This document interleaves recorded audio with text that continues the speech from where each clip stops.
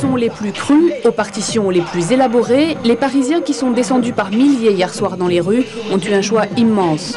Tout a vraiment commencé à la tombée de la nuit. En plus des 200 manifestations prévues, on trouvait au hasard des rues toutes sortes de concerts improvisés et souvent de très bonne qualité. Dans toute la France, la 7e fête de la musique a connu le même succès et la même diversité.